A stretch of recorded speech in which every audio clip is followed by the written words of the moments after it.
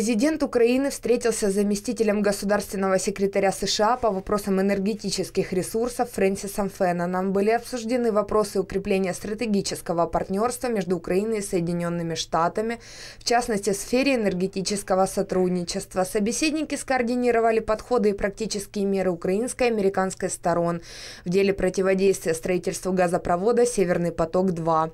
Порошенко выразил благодарность американской стороне за последовательную поддержку и практическую помощь Украине в усилиях по диверсификации источников энергоснабжения, снижении зависимости в этом вопросе от РФ, реформированию энергетического сектора України. Вперше енергоблок української атомної електростанції, Южноукраїнської станції, запрацював на американському пальному Вестінхаусу. Це те, про що ми договорилися з президентом Трампом під час наших зустрічей в Білому дому, Нью-Йорку, і те, що я е, говорив з ним зараз в Брюсселі під час саміту НАТО.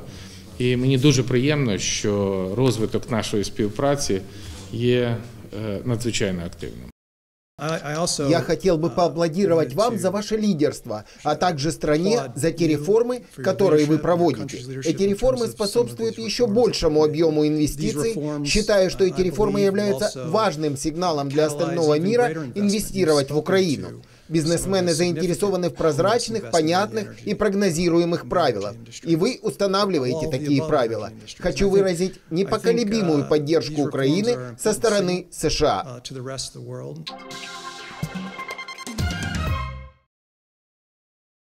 Состоялся отбор украинских военных для участия в 43-м марафоне морской пехоты США. Как сообщает на официальном сайте президента Украины, около 70 ветеранов, участников антитеррористической операции, которые получили ранения, увечья, контузии или заболевания, пробовали свои силы, чтобы войти в состав национальной команды ветеранов АТО. Претенденты должны быть готовы преодолевать дистанцию в 10 и 42 километра в Соединенных Штатах Америки вместе с ранеными участниками боевых действий из разных стран. Всего в марафоне участвует более 30 тысяч человек. В этом году Украину будут представлять 9 раненых ветеранов с разными жизненными историями и собственным путем реабилитации.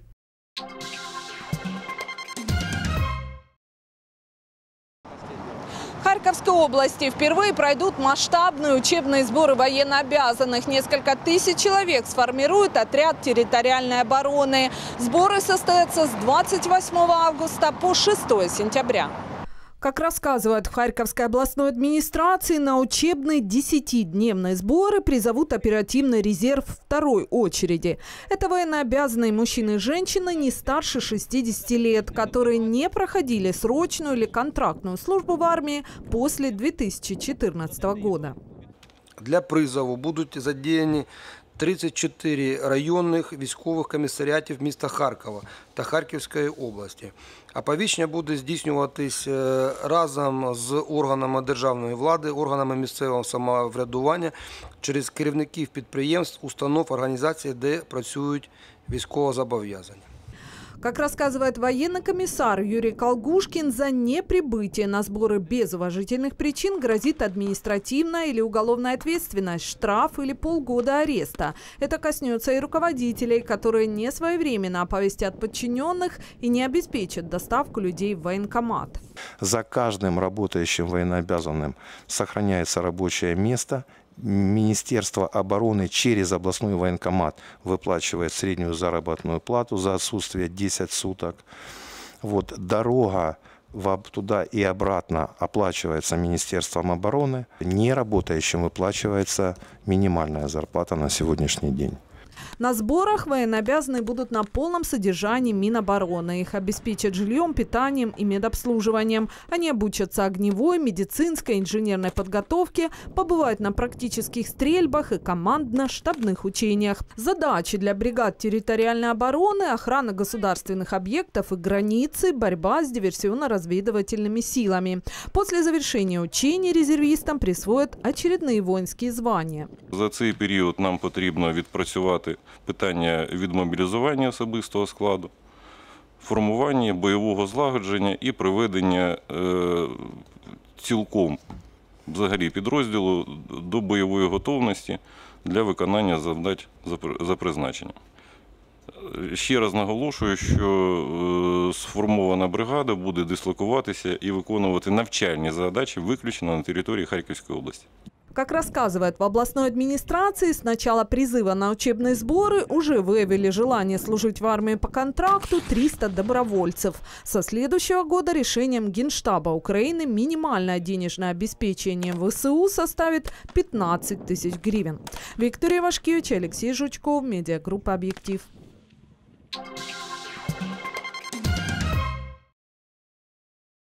Стать на крыло. В ходе своей первой за период обучения практики курсанты Харьковского национального университета воздушных сил осваивают самостоятельные полеты, а помогают им в этом опытнейшие авиаторы, летчики, давшие путевку в небо не одному поколению начинающих пилотов. Лично я обучил 64 курсанта. Николай Филатов инструкторской работе посвятил 15 лет жизни. С 70 по 85 готовил летчиков на самолеты Л-29 и МиГ-21. Спустя годы вернулся на аэродром помощником руководителя полетов. Эту должность в Харьковском аэроклубе ввели, чтобы максимально обезопасить процесс обучения курсантов, которые проходят здесь летную практику на легкомоторных самолетах ХАС-30. Просто я свою стихию, я с юности начинал также на таких аэродромах полевых, на, на винтовом самолете летал. Вот. И все это как бы вернулось, ко моя юность немножко вернулась. Все как тогда. Подъемы в 5 утра, летная смена 7 часов. Только теперь Николай Филатов наблюдает за начинающими пилотами со стартового командного пункта. На его глазах рождаются летчики. Курсанты выполняют свои первые самостоятельные полеты. Сначала немного волновался. Это волнение только внутри. Внешний летчик не должен волноваться, никак это не должен показывать.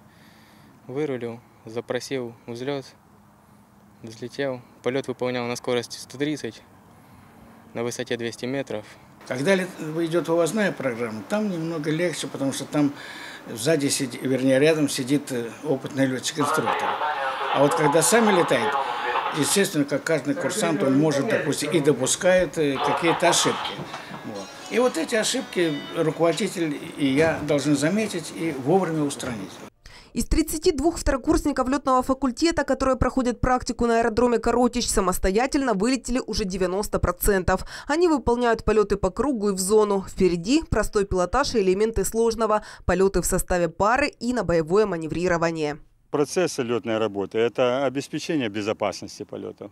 Вот. Э, сейчас э, лето, вот сложные метеорологические условия. Не, не понятно. Сейчас, ну, во-первых, ну, вы заметили, в атмосфере сейчас вот такое бывает прогноз один, а, а творится совсем другое. Это все нужно предусмотреть, вовремя нужно определить, чтобы не пустить, допустим, курсант самостоятельно летает, бывает сдвиги ветра, бывает резкое усиление ветра. Чтобы это вот не, не допустить, мы постоянно, постоянно вот в таком, то есть расслабляться нельзя ни на минуту. Сейчас ребята еще робкие, говорят в аэроклубе. У них экватор летной практики. В день каждый выполняет до трех полетов. К концу сентября все должны налетать 45 часов. Но кому-то из них продолжить обучение не дано. Освоить самолет, сосредоточить внимание на нескольких параметрах одновременно и следить за окружающей обстановкой могут не все. По статистике, 1% от общего числа приходится списывать. Но это, уверены в авиации, на благо для всех. Анна Симоненко, Алексей Жучков, медиагруппа «Объектив».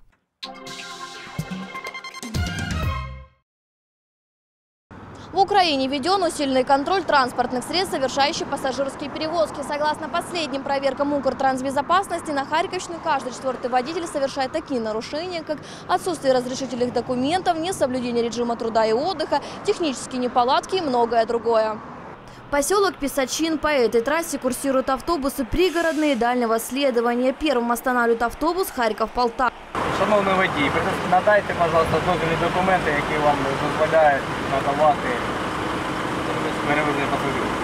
Водитель предоставляет все документы, есть и лицензия на перевозку и страховой полис, однако отсутствует карта для электронного тахографа, который фиксирует скорость, пройденную дистанцию, время отдыха и проведенное за рулем. Водитель оправдывается. Инспектор Укрбезопасности составляет протокол. Мы высыпаемся, у нас документы все в наявности, проблем нема никаких вас Все напарник хорошо. есть? Вы... Конечно. Пассажирка автобуса Вера Николаевна каждый месяц ездит к своей сестре в Полтаву. Считает, что подобные проверки уместны, но не должны нарушать расписание автобусов. У меня маршрутка уйдет, я потом буду два часа, четыре сидеть ждать вторую.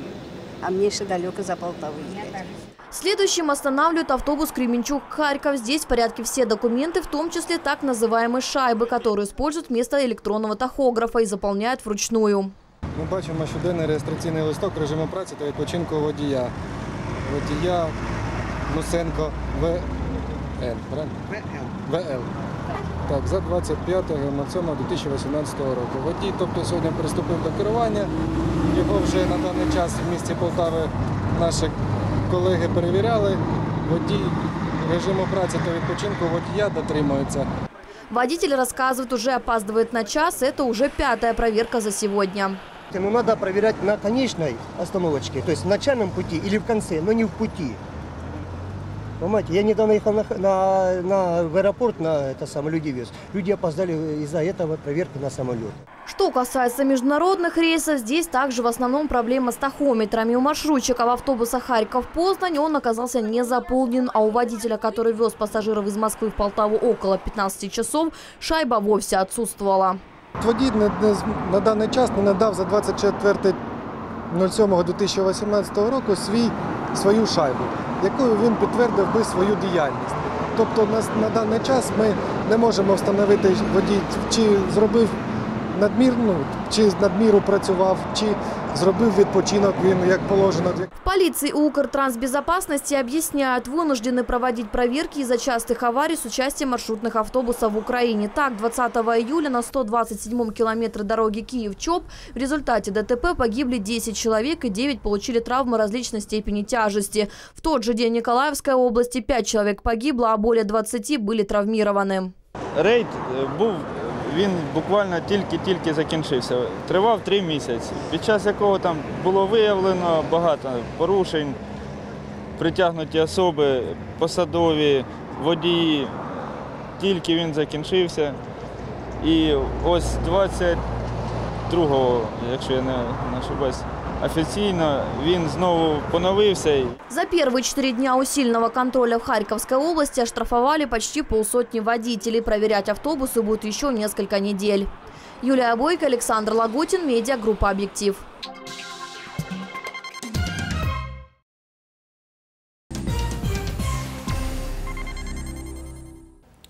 Здравствуйте! Вы смотрите блок новостей экономики. В отношении руководителей пенсионного фонда проведут служебную проверку, а аграриям возместят стоимость саженцев. И теперь об этом подробнее. Премьер-министр Украины Владимир Гройсман назначил служебное расследование по факту задержек выплат пенсий. Напомню, Укрпочта подтвердила проблемы с финансированием из-за временных технических неполадок в пенсионном фонде. Как объяснили ситуацию в фонде, произошел кассовый разрыв поступлений единого социального взноса.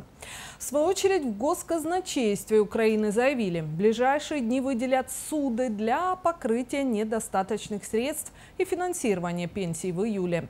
Напомню, проблема с выплатами коснулась пенсионеров, которые получают деньги с 18 по 25 число. Хочу нагадати вам, що це ваша персональна відповідальність вчасно виконувати всі зобов'язання перед українськими пенсіонерами. І я маю надію, що це дійсно технічні проблеми, з якими ви впораєтесь дуже швидко. І в мене є два питання. Перше, до кінця тижня ви маєте врегулювати і війти в нормальний графік. Це перша позиція. І друге, я призначу службове розслідування і розберусь детально, хто і чому до цього привів. В тому числі і що стосується вас персонально, і те, що стосується всіх керівників пенсійних фондів області. Открытые в этом году в Харьковской области месторождения могут обеспечить газом всю Украину. Об этом заявили на предприятии «Укргаздобыча». По их данным, сейчас регион обеспечивает 40% потребностей Украины. Запасы газа в области насчитывают 7 миллиардов кубических метров, а перспективные залежи до 800 миллиардов. В Изюмском районе сейчас идет сейсмологическая разведка нового месторождения на площади около 100 квадратных километров.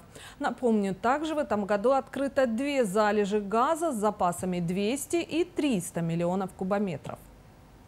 Аграриям возместят 80% стоимости саженцев. Как сообщает Минагрополитики, в рамках программы «Государственная поддержка развития хмелеводства, закладки молодых садов, виноградников и ягодников» выделено 72 миллиона и 100 тысяч гривен.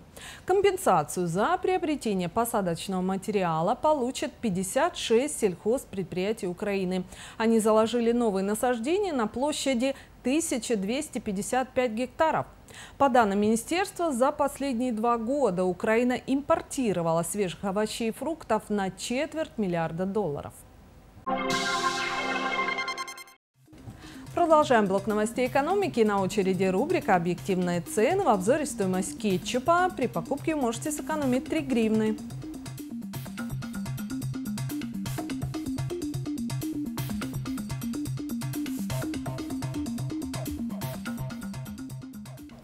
В завершении курс валют от НБУ. Доллар 26 гривен 58 копеек, евро 31 гривна 12 копеек и швейцарский франк 26,77.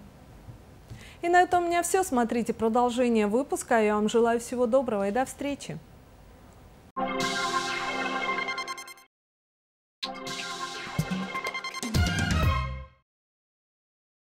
Уже второй год подряд в Харьковской области самый низкий уровень безработицы среди регионов Украины. В первом квартале 2018 – 6%.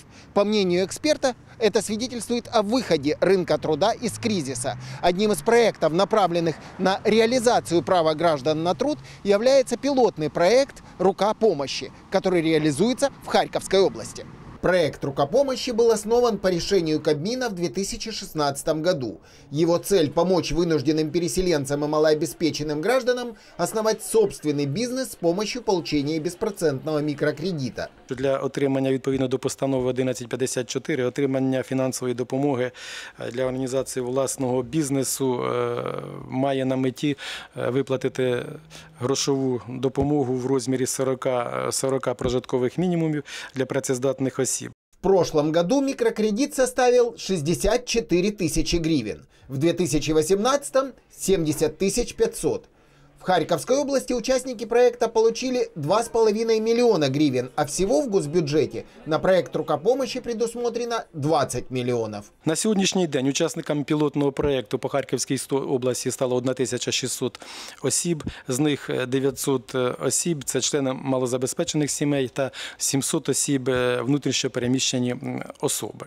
Всего же, по данным областной службы занятости, за 6 месяцев этого года трудоустроены более 20 тысяч человек. В прошлом году работодателям компенсировали почти 10 миллионов гривен единого социального взноса за трудоустройство 1500 безработных. В цьому році 11 мільйонів кошторис і е, на сьогоднішній день 625 чоловік скористалися цією можливістю 5 мільйонів гривень сплачено роботодавцям.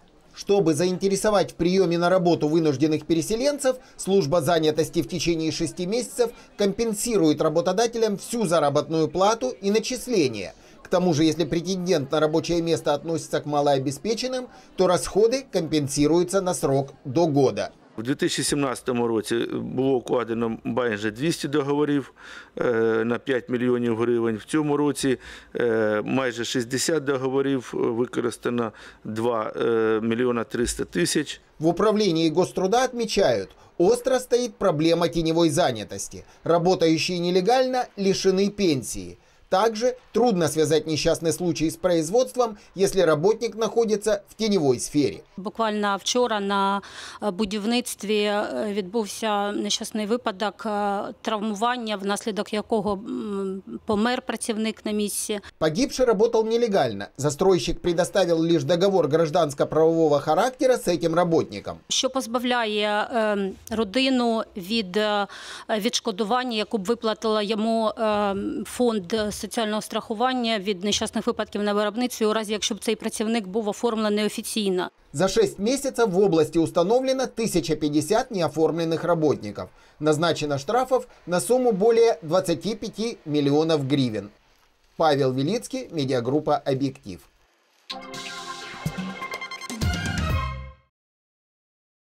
Харьковскому заводу специальных машин 75 лет. Предприятие производит и ремонтирует технику для украинской армии. мы выпускаем большую линейку колесных машин, грузовиков, вездеходов, которые отдаем в воинские подразделения Сбройных сил Украины, вот, которые используются в различных подразделениях, в том числе и в зоне, так сказать, военных действий. Трубопровод улаживаем, мосты ставим, это самое, двигатели, ну, кабину, там и все. И выпускаем, вот смотрите, уже у нас автомобили. Я люблю с этим работать. Лучшие условия труда стали. Я считаю, есть что показать. Продукция у нас ничем не хуже, чем у других заводов. Ну, считаю, что это больше, чем хобби. За последние два года объемы производства на заводе увеличились на 30%, а средняя зарплата на 50%, отметила глава області Юлія Світлічна. Відновлення виробництва в цілому в державі надзвичайно важливе питання і особливо е, нагальне питання для індустріальних регіонів. Буде майбутнє у промисловості, буде майбутнє в державі. Ми зосередили свою увагу і працюємо з великими підприємствами для того, щоб підвищувати заробітну платню, підвищувати і поліпшувати умови праці. Директор завода подчеркивает, что при Предприятие является лидером в Украине по ремонту, изготовлению и восстановлению колесной военной техники и загружено заказами более чем на 100%. Это, можно сказать, э, большом усиленном режиме, не в две смены, но можно сказать, что и без выходных. Потому что заказ э, Министерства обороны очень большой. Э, каждый день с конвейера завода сходит один автомобиль. Поверьте мне, эта программа очень такая напряженная, большая. Юлия Бела, медиагруппа «Объектив».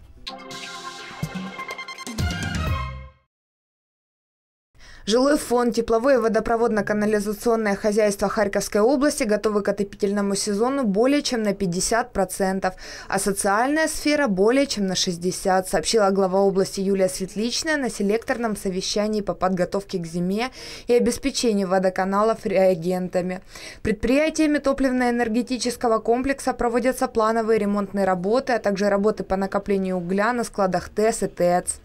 Кроме того, глава области поручила уполномоченным органам выяснить причину, по которой в Харькове оказалось наименьшее количество запасов хлора среди всех областных центров после остановки предприятия Днепрозот.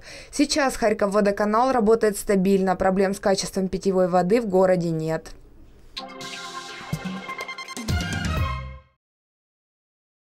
В августе из Харькова стартует всеукраинский велопробег среди незрячих. Как сообщили в мэрии, четвертый инклюзивный велопробег «Вижу, могу, помогу» состоится с 5 по 24 августа в Украине.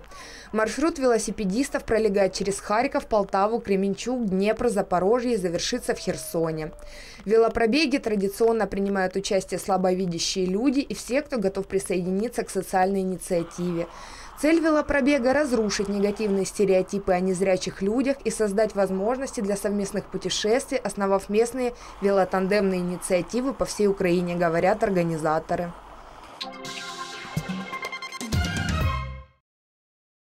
Горить ватра, горить ватра, дивіться, дивіться, це новацтво, це новацтво, співає, співає, Андрей Вишневский приехал на берег Старого Салтова на десятидневные сборы скаутского движения «Пласт». Лагерь пластунов под названием «Литопы с рідної земли» собрал около полутора сотни детей со всей Украины в возрасте от 6 до 11 лет. Подобное мероприятие в Харьковской области проходит впервые. Ось тому це для нас все нове. Ми вперше дітей е, повезли в саме місто Харків. Е, вперше вони побачили і ваші музеї, і ваше величезне прекрасне місто. Тобто, це в нас такий перший досвід, оскільки в нас зараз на Харкові дуже активно розвивається пластовий осередок. Во время пребывания в лагере маленькие пластуны изучают украинские традиции и историю. Участников делят на три возрастных группы. Чтобы информация усваивалась быстро, детям подают ее в игровой форме. Также здесь можно получить необходимые навыки выживания в экстремальных условиях. Орієнтуватися по компасу, умовні знаки на карті, потім як зробити з підручних матеріалів свічку. Пребывание детей в лагере совершенно бесплатно. Побывать в Харькове участникам скаутского движения «Пласт» помогли местные волонтеры. Наприклад, є родини, які мають три і більше дітей і всі пластують. І купити ну, оплатити та їхнє перебування в таборі для трьох і більше дітей. Це дуже складно. Тоді бізнесмени, наприклад, допомагають тут, як Вадим Мохов. Ми з ним познайомилися ще в 2014 році, коли ми допомагали прикордонникам нашим. І з тих пір ми ну, з ним співпрацювали. На організацію лагеря для пластунов літопис рідної землі харківські газодобиваючі компанії групи Smart Energy виділили 60 тисяч гривень. К сожалению, сейчас очень многие семьи в серой зоне не имеют достаточного достатка, чтобы отправить своих детей не только в пластовые лагеря, в любые лагеря. Поэтому наша компания взяла на себя такое обязательство, и мы финансируем проведение лагерей для этих детей. То есть мы привлекаем детей из малообеспеченных семей, детей из серой зоны, детей погибших воинов АТО. Вадим Мохов обещает и дальше поддерживать скаутское движение «Пласт», а также помогать развивать его на Харьковщине. Ирина Сайко, Дмитрий Герасимов, медиагруппа «Объектив».